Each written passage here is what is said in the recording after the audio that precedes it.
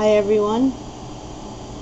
I'm here to share the results of the MRIs that I had done on Monday and some of my friends already know what's going on because I made some phone calls today and I talked to a few people and some people I couldn't call because I don't have your numbers so I wanted to make the video so that everybody knows what's going on and uh, I got a phone call about 10 minutes to 10 this morning from my doctor's office. Um, his partner my regular doctor my PCP um, he's on vacation.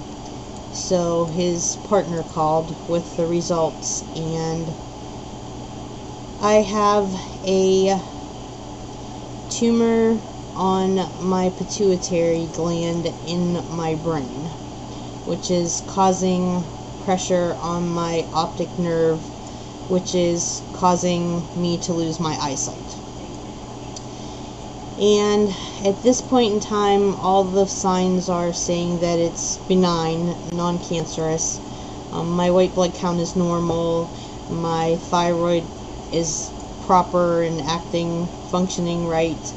And all my blood work that they did before I had the MRI done came back normal except for of course my blood sugar and right now we are in the process of I have to go see a neurosurgeon tomorrow morning at 9 a.m. and I'll be meeting with him and he will let us know what course of action he's going to be taking but from my understanding from my regular doctor's partner and the person who called me from the neurosurgeon's office. They're going to try to act quickly because the tumor is rather large. And if it moves or pushes farther against my optic nerve it could sever it and I will be blind forever. So that's my news. Um, I will be having whatever treatment they decide eventually it's going to mean surgery but it could mean radiation before that or several other treatment options. I won't know until we speak to the neurosurgeon tomorrow and find out what he wants to do. But luckily enough, my doctors got it approved for our insurance company to let this neurosurgeon do um, what he needs to do for me here in the Grand Rapids area that we live in instead of having to go to Ann Arbor, Michigan to the University of Michigan where the doctors do participate in my insurance. So that's the update and I appreciate it if you all just say some prayers. This is going to be a big thing to go through. It's brain surgery.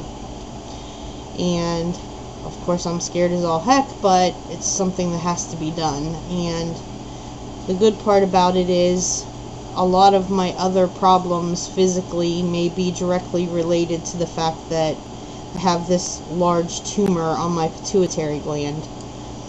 So that's about all I can fill you guys in on right now and sorry it's not good news and no this is not a late April Fool's joke it is the truth so keep me in your thoughts and I appreciate your support in advance because I know that I have a lot of really good friends here on YouTube that will be supportive of me and I especially want to thank Stacy and Lizzie and Eden and Diana and I shouldn't start naming names because I talked to a lot of people today but a lot of people I didn't because I don't have phone numbers but all of you guys have been so wonderful through everything that our family's been through and we appreciate your support.